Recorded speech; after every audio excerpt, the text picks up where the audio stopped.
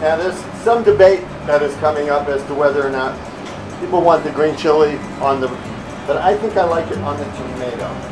Okay. personally. So you, s- wraps everything up together. So here we go.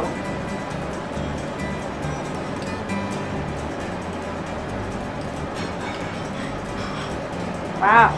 That looks right. fabulous. And then finally, bun goes on top. Now, as you see that stuff spilling out, we're going to surround this with french fries. And we're going to surround these burgers. We're going to move that to the center. So it's almost like you have green chili cheese fries on top of the That's right. cheeseburger. Yes, can't have enough green chili. Basically give it a little bit of a surround.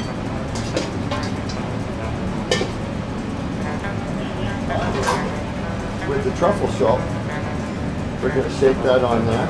Sprinkle truffle salt. That. And then we're going to give it one to you, Jody, for.